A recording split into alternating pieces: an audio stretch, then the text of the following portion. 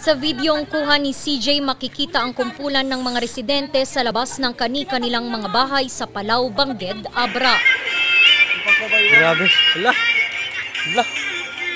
Makikita rin ng mga bitak sa lupa. Sanhi ito ng magnitude 7.3 na lindol alas 8.43 kaninang umaga. Akala ko may sasakyan lang na dumaan kasi tabi po kami ng kalsada. Nagkakalampagan na yung ano, bubong, yung bubong namin sa yung mga pader. Kami po ay nakaupo. Kahit nakaupo kami, para kami yung parang tumatalon, sumasayaw. Sobrang ano, pagdinig ng anting ano, yung lindol na ito. Ah, gumalaw po yung isang ah, fault na mala- malaki po siya, mahaba, at ito po ay ang Abra River Fault. At ito po ay ah, nagdulot ng magnitude 7.0 na lindol kaninang alas 8.43. At mababaw po yung lindol, hindi man masyado mababaw, but 17 kilometers. So malakas po ang ang pagyanig na posibleng maidulot nito. And so far, no, iniisip natin na baka magkaroon talaga ng intensity 8 na shaking Hanggang ngayon, nasa labas pa rin ang magkakapitbahay.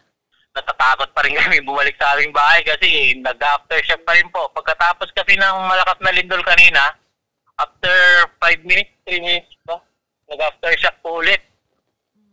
Ayun, naghiyawan yung mga tao, naghiyakan. Eh, nag, sabi namin, nagdesisyon kami na pumunta mo na lang muna sa bukid, yung malayo sa mga gusali. Ang iba pang taga-Bangged ay nanatili sa open area ng munisipyo para sa kanilang kaligtasan. Nakaantabay naman ang mga nakahandang emergency response team.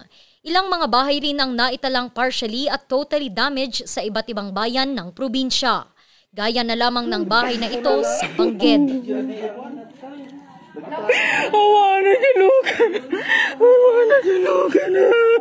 Nasira rin ang operation center ng La Paz. Hindi naman madaanan ngayon ang Tubo Road dahil sa mga gumuhong lupa at bato. Ang Abra Ilocos Sur National Road naman kasalukuyang one-way dahil sa matinding pinsala sa kalsada. Dagsaan naman ang mga sugatan sa Abra Provincial Hospital para sa agarang lunas. Naitala ang epicenter ng lindol sa Lagangilang Abra. Patuloy pa rin namang nakaalerto ang iba't ibang mga ahensya. Sa datos ng DSWD, isa ang patay at 44 ang sugatan. Agad namang nagtungo si DSWD Secretary Erwin Tulfo sa probinsya para mamigay ng tulong.